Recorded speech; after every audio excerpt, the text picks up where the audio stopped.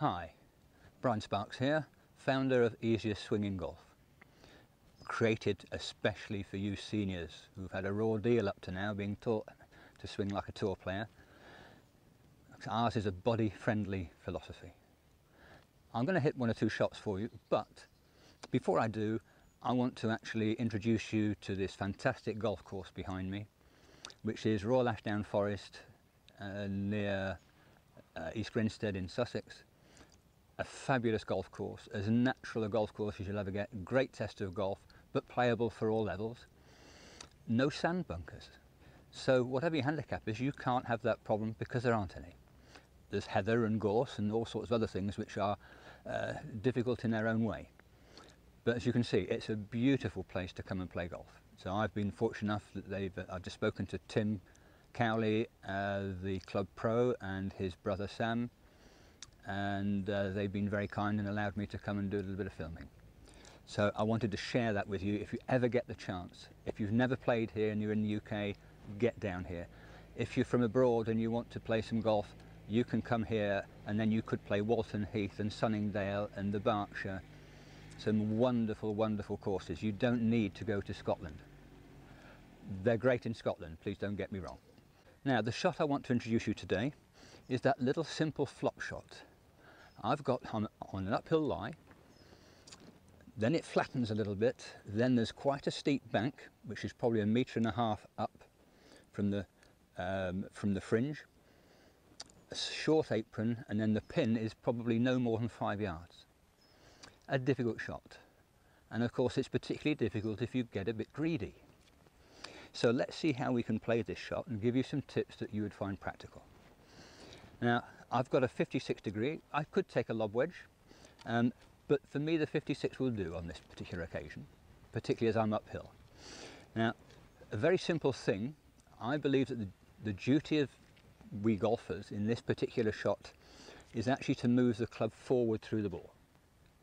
And we're tempted, because it's uphill and because we want to stop the ball quickly, we actually attempted to do this and try and flick it up.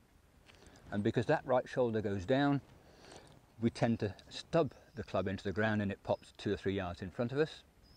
And don't tell me you don't find that frustrating. And because we're moving back, the centre of the swing is behind the ball. So if we manage to miss the ground, we're then coming up and we tend to top it and it goes flying through the green. So one minute you're just in front of you, the next minute you're flying through the green and then you have to go over there and repeat the process.